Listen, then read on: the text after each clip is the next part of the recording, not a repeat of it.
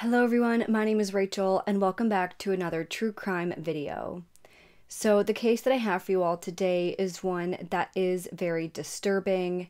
I feel like this is a case where people might have differing opinions on the root cause as to why this happened, so I'm really looking forward to hearing what everybody's thoughts are on this case. But before I get into it, I wanted to go ahead and say a huge thank you to Bright Cellars for partnering with me on today's video. Bright Cellars believes that wine is meant to be enjoyed. They are on a mission to bring the fun back into wine by matching people with wines that they will be sure to love. I'm someone who's never really known what kind of wines I like, other than knowing that I generally like sweeter, fruitier flavors. But now with Bright Cellars, they're able to take my preferences and select wines that will match my tastes. All you do is take a quick seven question quiz and you will be matched with wines from all over the world. Then you have endless options when it comes to subscriptions for the wine club. You can choose from over 12 different plan options and get over 100 varieties sourced from more than 80 wine regions delivered straight to your doorstep. I got my box with six different wines, and having them delivered every month is actually perfect for my lifestyle. My roommates and I love to do our Wine Wednesdays where we try a new wine each week while we hang out and watch some of our favorite shows or play some games with the charcuterie board. It's the perfect way to try some new wines and unwind with my favorite people. What I love about trying wines from Bright Cellars, though, is that each one comes with a little wine education card that outlines tasting notes, suggested pairings, best serving temperatures, and their origins. I love white wines and rosés, but I'm also open to trying new things, so I also asked for a red blend. First, I got the Mohave Rain, which is a red blend with flavors of cherry, blackberry, violet, and chocolate, and this one is from California. My roommates are all red wine people, and they love this one. Then my two favorites were Petal Press Wine Co. and Batik. The rosé has a light, juicy, sweet flavor with hints of lemon, nectarine, watermelon, and rose. Then the Batik has flavors of lime zest, kiwi, ginger, and dried flowers. It's so delicious. I love those too. So, if you want to join Bright Cellars Wine Club and get new tastes delivered right to your front door, then Bright Cellars has a special offer for my viewers. For a limited time only, you can get your first six bottle box, which is a $150 value, for just $60. Use my link down below or scan the QR code shown here to take the quiz and get your personalized matches. Again, make sure you use my link down below or use the QR code here to get your first six bottle box for only $60. Thank you again so much to Bright Cellars for partnering with me on today's video. Okay, so with all of that being said, let's get into today's case. Today, we're going to be discussing the very disturbing murder of Melanie Davis. Melanie Davis was born February 11, 1967, in Australia before she moved across the world to Bowling Green, Kentucky, before moving the family to the quiet small town of Hendersonville, Tennessee. From there, she became married to her husband, Chris Davis. Melanie worked as a paralegal, and in her free time, she trained for triathlons. She absolutely loved being active and fit. Chris and Melanie then went on to have two sons, Josh and Zachary. Josh was born in 1996 and Zach was born in July of 1997. By all accounts, Melanie and Chris did their absolute best to raise their boys in a stable, loving home. They were your classic picture of your typical middle class family. Chris and Melanie loved each other and they made sure to show their sons how much they loved them. Now, growing up, Josh was known as being outgoing, talkative, and easy to get along with. Meanwhile, his little brother Zachary, he was known for being a bit of a loner, he was quiet, and he didn't have too many friends of his own. But despite their differences in personalities, Josh and Zach were always very close with one another. But tragedy struck this happy, close knit family when Zach was only nine years old. Chris had been diagnosed with amyotrophic lateral sclerosis, or ALS. ALS is a rare, debilitating neurological disease that attacks your motor neurons within your brain and spinal cord that leads to progressive muscle weakness and eventual paralysis. This disease is progressive and starts with a patient having weakness in their arms and legs until they eventually become unable to walk or get out of bed. They lose their ability to chew food or speak or swallow, and eventually the patient's diaphragm and other respiratory muscles become affected which leads to inability to breathe on their own, which ends up with them being ventilated. This is an incurable disease at this point, and most patients die within two to five years of diagnosis, though some patients live as many as 10 years or longer. So, truly, it's a debilitating, awful, nasty disease. And unfortunately, Chris died of ALS when his sons were only 9 and 10 years old. His death had a truly devastating effect on the family. Zach fell into a deep depression, and those around him started to notice a very obvious shift in his behavior. First, his grandmother, Gail Kahn, she noticed that he became very withdrawn during this time. Then, a teacher of Zach's talked to Melanie because Zach had been drawing disturbing images in school this included images of people being blown up and things like that. So, because of these notable shifts in behavior, Zach started to receive psychiatric care.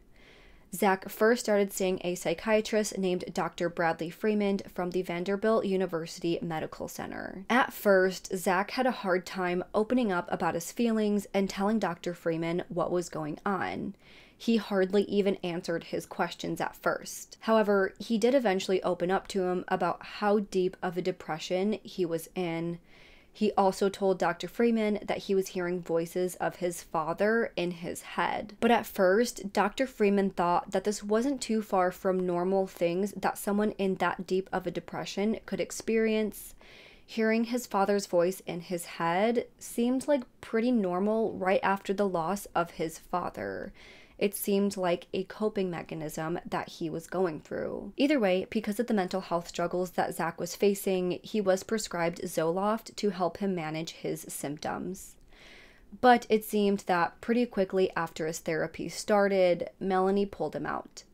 I haven't seen exactly what happened, but court documents list that Melanie was angry with Dr. Freeman for whatever reason, so she stopped having Zach receive therapy from him. In the months and years that followed, Zach's depression seemed to just get worse. Zach stopped showering, only cleaning himself once in a while. He wore the same hoodie day after day, even on days that it was warm out. He didn't talk to anybody, including his mom, his brother, and grandmother, who made it a point to see him and Josh on the weekends whenever she could. His grandmother said that for the years after his father died, he would often go into catatonic or zombie like states. He would speak in whispers, and he was always very monotone and emotionless. It's also been reported that Zach told Melanie that he continued hearing his father's voice in his head, but it didn't really seem like she did anything about it. Now, it didn't seem like him being quiet and to himself was that big of an issue in Melanie's eyes. According to Gail, when she brought up the issue with Melanie, she just shrugged it off as Zach being a quiet kid. She said that she was quiet too, so they both just kept to themselves. That's just how their personalities were. By all accounts, after Chris's death, Melanie truly tried to do what she could to heal herself from the loss and did everything in her power to keep her boys happy as well. She wanted them to heal as well and grow into healthy, happy adults. But the night of August 10th, 2012 changed everything. On that evening, 15 year old Zach and his 16 year old brother Josh went to the movies with their mother. They watched the comedy movie The Campaign, and by all accounts, Zach was laughing, smiling, and having a great night. They all returned home that night, with each of them going into their respective rooms.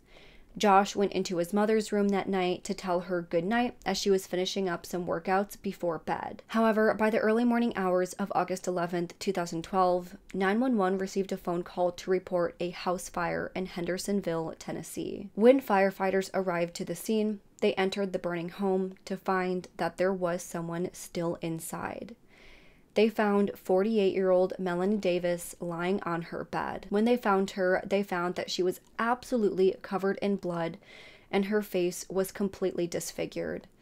At that point, it was obvious to first responders that there was much more going on here than just a house fire. Now, neither of the two boys were in the home, but firefighters quickly found Josh, who had been at a neighbor's house.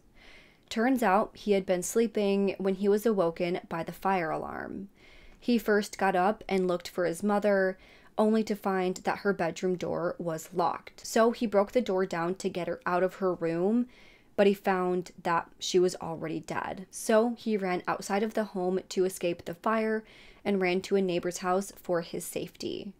But Josh had no idea where his brother was, and neither did the authorities. Hours passed with authorities looking everywhere for Zach until five hours later, after the 911 call, when authorities found Zach wandering alone aimlessly on a two lane road several miles away from the family home. Some sources state that he was five miles away, with some sources claiming he was many as 10 miles away from the home. He was found carrying a backpack and a satchel. Inside of his pockets, police found a pocket knife, an exacto knife, earplugs, a cigarette lighter, tissues, and a set of keys. He was also carrying his school ID as well as a notebook. He was immediately apprehended and taken into the police station without incident. When he was in the interrogation room for questioning, reports state that Zach almost immediately confessed to killing his mother that night. Zach explained to the police that after returning home from the movies that night with his brother and his mom at around 9 p.m., everybody went to bed. But instead of going to bed, Zachary went to his room and started packing several items into his backpack, including clothing, notebooks, a toothbrush, gloves, a ski mask, and a claw hammer. After packing these items, Zach went into the basement where he grabbed a sledgehammer.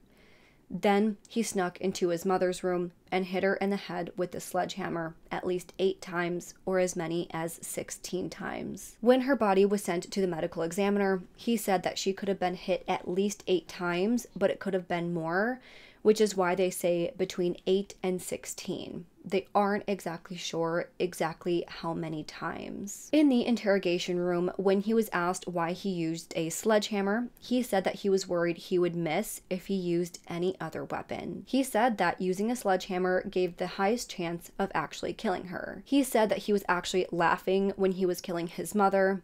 Then detectives asked him if he loved his mother, and he said, somewhat. He was asked several times if he thought it was funny, and he said, I don't know.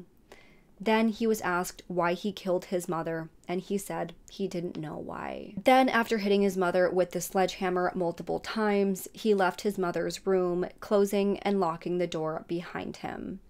Then he put the sledgehammer in a utility room nearby. Then he walked to the game room of the home. Here he poured gasoline and whiskey all over the walls and floors of the room before lighting a match and setting the room on fire. Then he closed the doors of the game room and fled the home.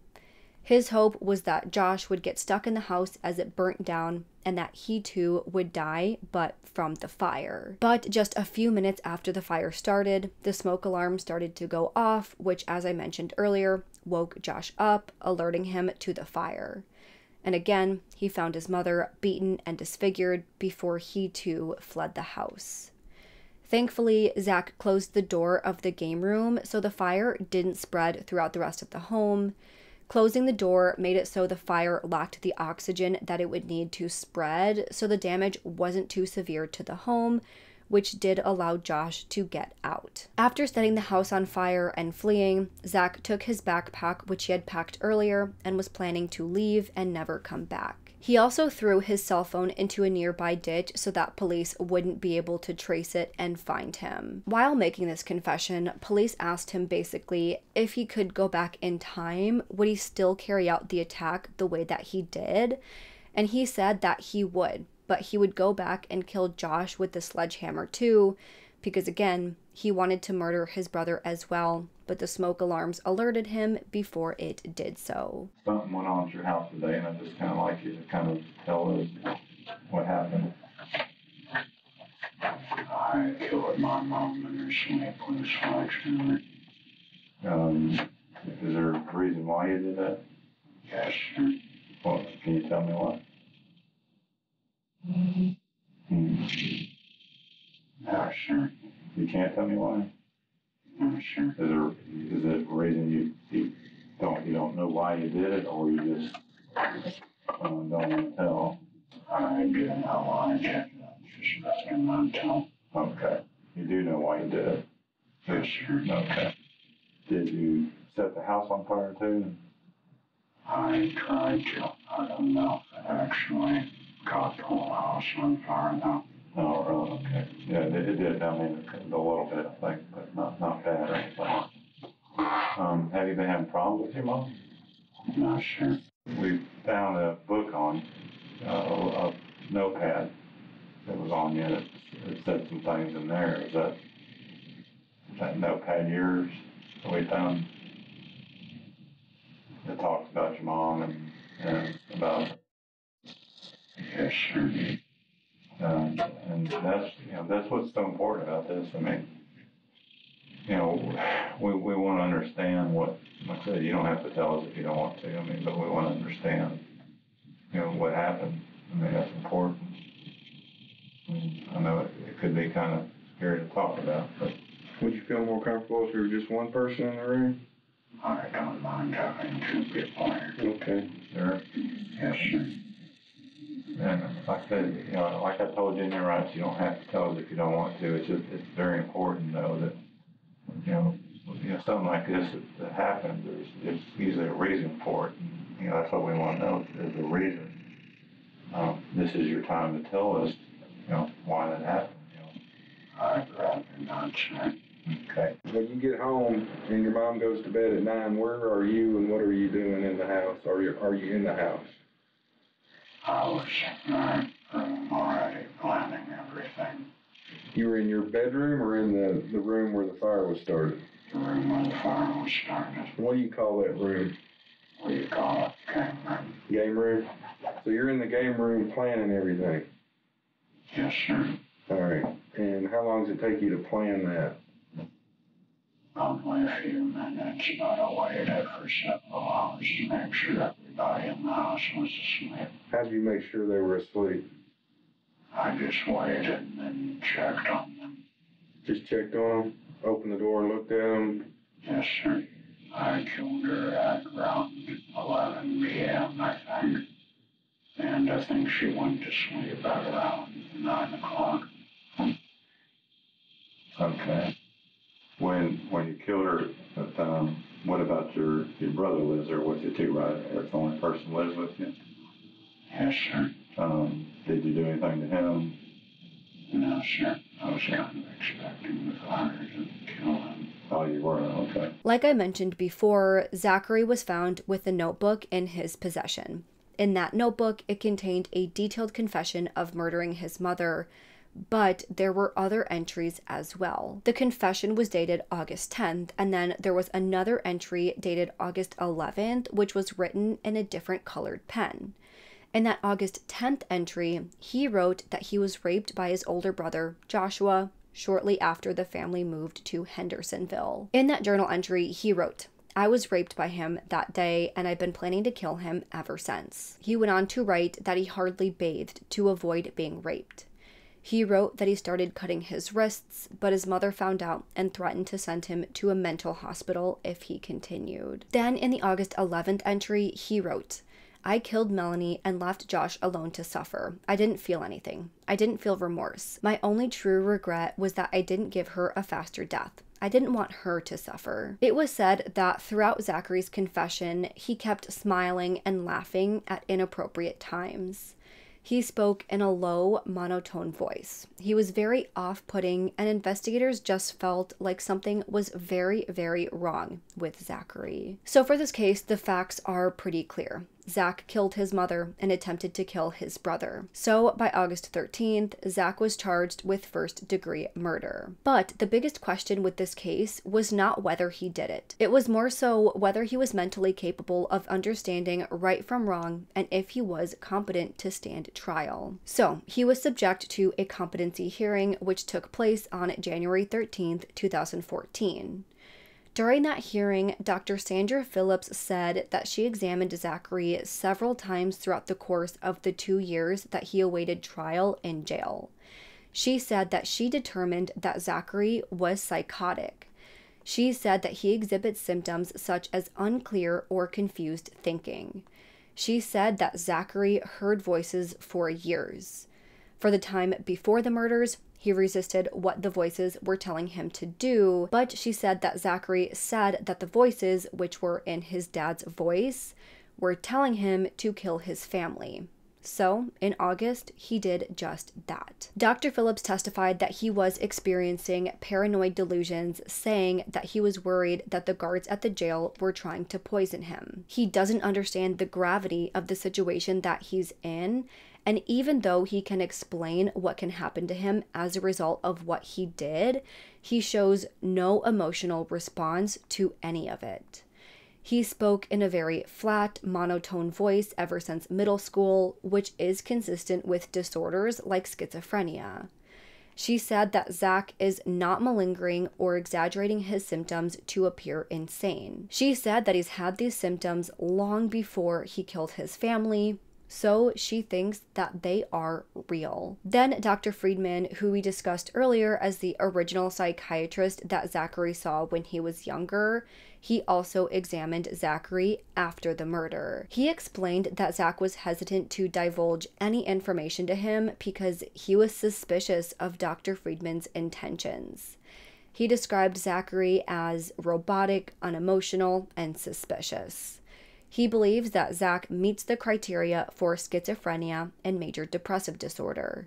He believes that he was experiencing psychosis. He said that with medication, he may improve his ability to stand trial, but as it stands, he did not think that he was able to adequately assist with his own defense or stand trial. However, there were two other psychiatrists that testified at the hearing who thought that even though Zachary did show obvious signs of a mental health disorder, such as major depressive disorder, he appeared well composed and he was able to speak with enough clarity about what happened that they believed him to be fully competent. Dr. Samuel Craddock testified that he did not agree with the previous psychiatrists in their diagnosis of schizophrenia. There was also a question of whether Zachary possibly fell on the autism spectrum due to his difficulty with social situations and the way that he spoke with little emotion. But both Dr. Craddock and the other psychiatrist, Dr. Farrick, they both agreed that they did not think that Zachary fell on the spectrum. He may have had some autistic like symptoms, their words, not mine, but they did not think that he fell on the spectrum. They said that he showed normal conversation and social interaction skills, even though he spoke with that low monotone voice. There were also questions on whether Zachary wanted to harm himself or posed a risk of doing so while in jail. He had expressed on multiple occasions thoughts and plans to harm himself while in jail to all of the psychiatrists who evaluated him. But as they progressed through their sessions, those behaviors decreased and it got to a point that Dr. Craddock and Dr. Farrick both thought that he was no longer a danger to himself. And again, they believe that even through that that he fully understood the nature and the object of the criminal proceedings. He knew how the process would play out. He understood guilt versus innocence. They believe that he was able to consult with his trial counsel and he was able to assist with his own defense. They did not find any mental illness that would prohibit him from conversing with his trial counsel and defending himself. Zach. Zachary Davis, How old are you, Zach? um, 60. Now, we've heard talk about you hearing voices when no one's there. Do you hear voices, Zach? Yes, Can you tell the judge? Do you recognize that voice? it's uh, the voice of my father. Okay. And does he continue to talk with you even after you've been in the jail? Yeah, How often does your father talk to you? usually uh, during the night, Okay, but how often? Every night? usually several times a week. And have you told the doctors that? Yeah, Did you tell Dr. Farouk that?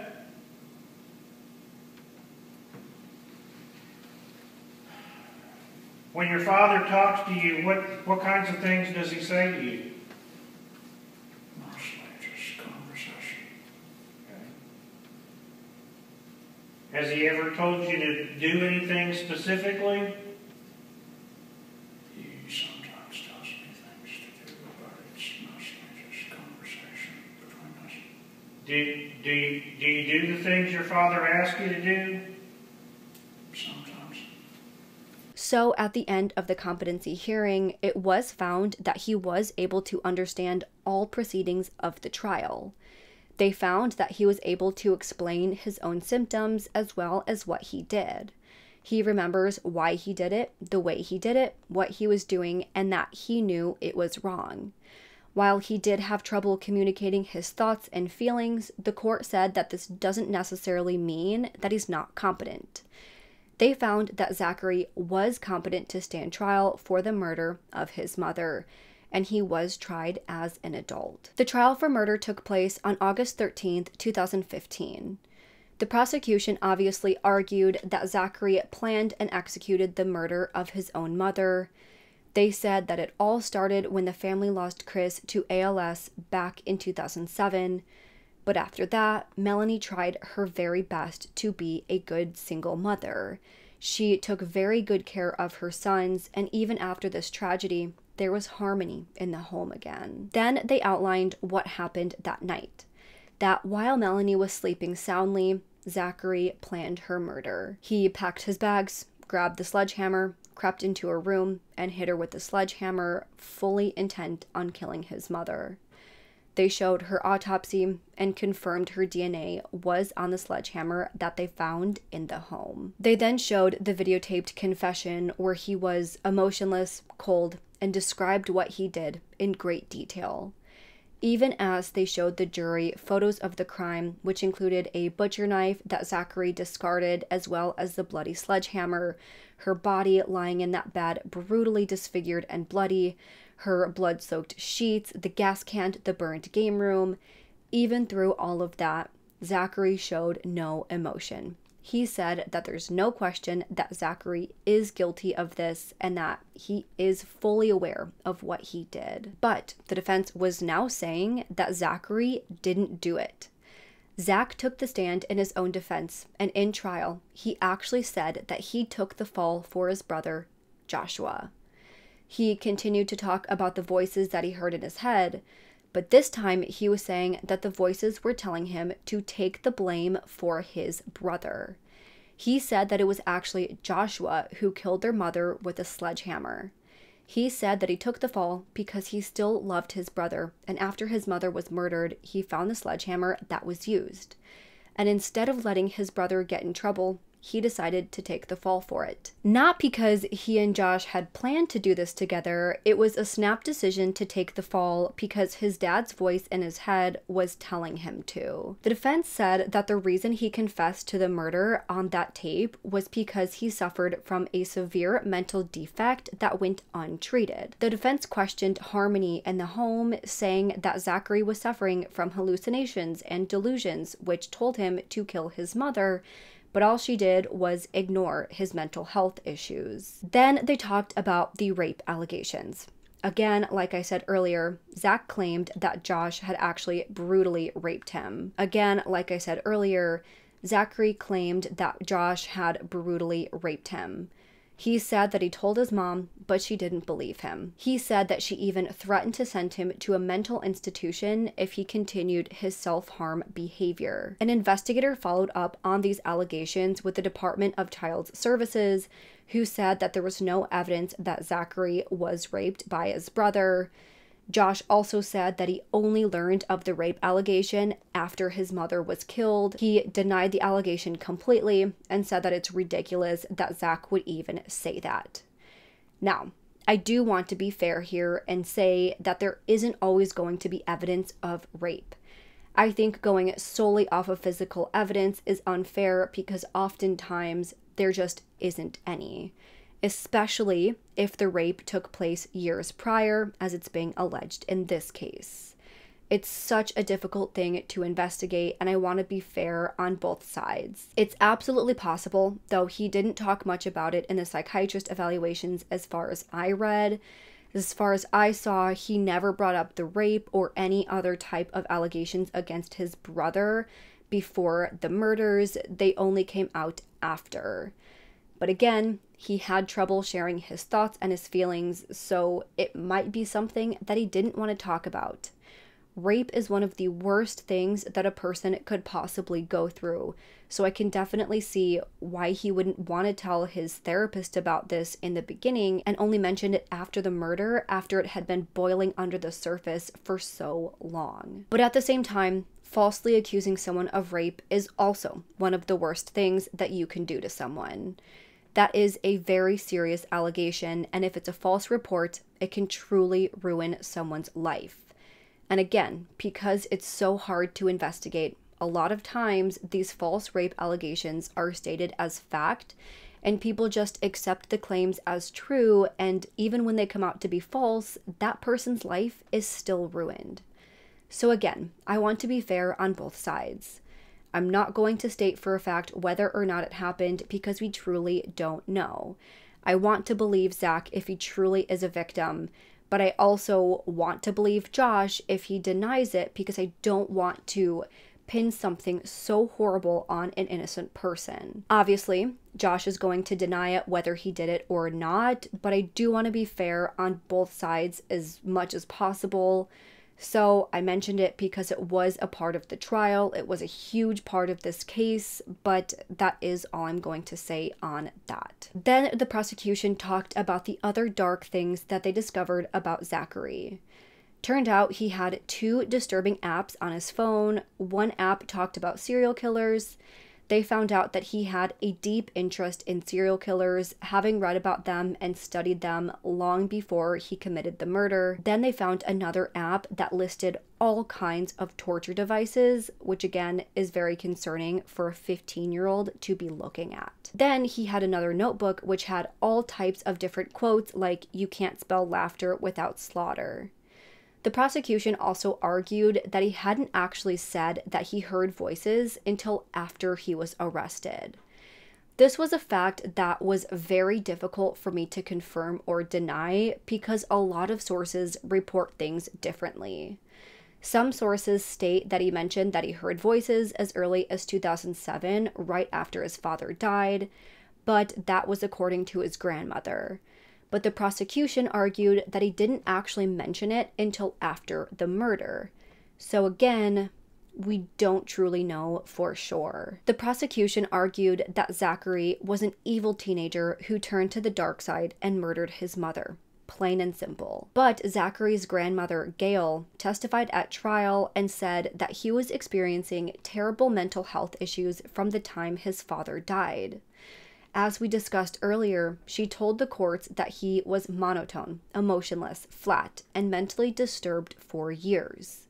She believed that he was hearing voices and that he was schizophrenic.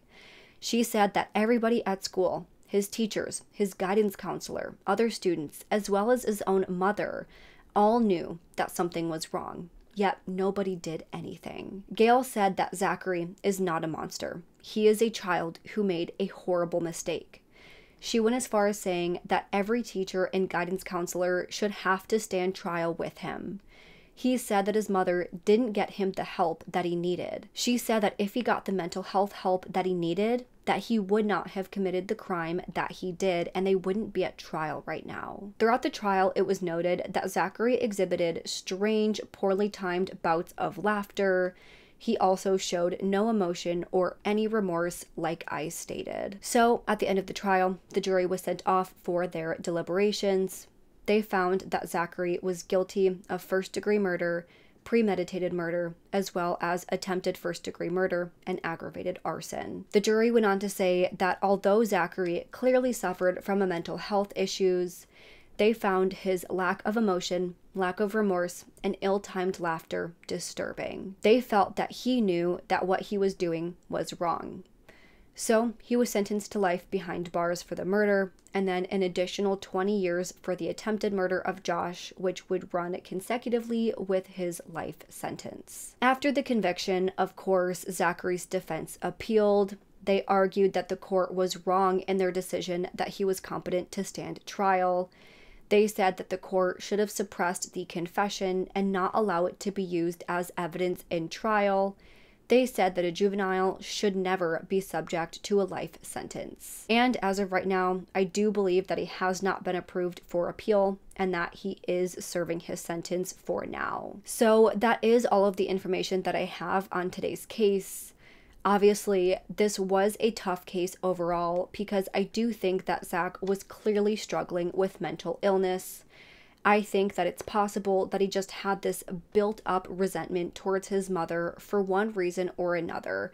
And for whatever reason, he just snapped and killed her. I do think that he was planning it for quite some time, even if it was just that day. But I do think he had in the back of his head that he wanted to kill her for a very long time. And I think he finally acted on it.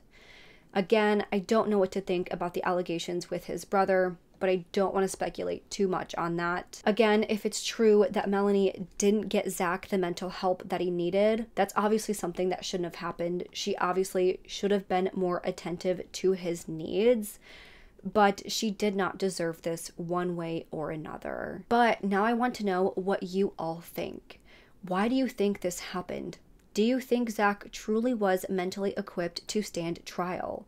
What do you think of the confession, and what do you think about the attempted murder of his brother? Let me know this and any other thoughts that you have on this case in the comments below. If you liked this video, please make sure to go ahead and leave this video a thumbs up and subscribe to my channel. I put out new true crime and mystery videos every single week. Don't forget to go ahead and turn that notification bell too on so you don't miss out on any of my future videos. Make sure you check out my Facebook as well as my Twitter and Instagram. All of those will be linked down below. And if you have any case suggestions, please make sure to fill out the Google form that is also listed down below. With that, I hope you guys have an amazing week. Stay safe, stay healthy, and I hope to see you next time.